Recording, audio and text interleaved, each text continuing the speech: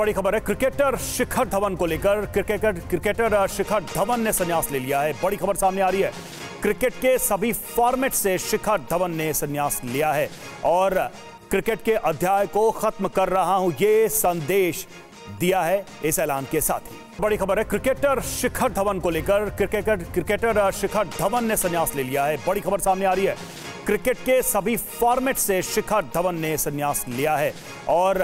cricket के अध्याय को खत्म कर रहा हूं यह संदेश दिया है इस ऐलान के साथ ही